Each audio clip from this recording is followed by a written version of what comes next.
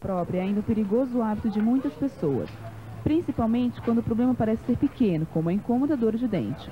Na tentativa de aliviar as dores, as pessoas passam a tomar remédios sem antes procurar um dentista. Os farmacêuticos dizem que a venda desses medicamentos sem receita médica é devido à insistência dos clientes. O pessoal assim tem dificuldade, né, de dentista, coisa assim, então primeiro eles vão no, no analgésico, no anti-inflamatório, a gente orienta, às vezes vende sem receita, né, a pessoa procura espontânea, e receita também a gente atende, né.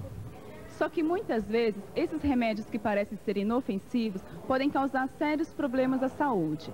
Assim como acontece nos consultórios médicos, as clínicas odontológicas tratam de diversos pacientes com diferentes tipos de doença. Isso ocorre porque eles tomam medicação sem nenhuma orientação médica.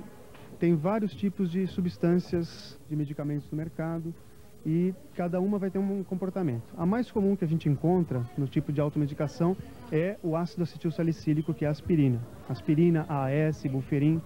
E o principal uh, contraindicação dela, a principal complicação que ela pode causar seria relacionada à hemostasia, que é uh, o, uh, o, aumento do tempo da coagulação sanguínea. Né?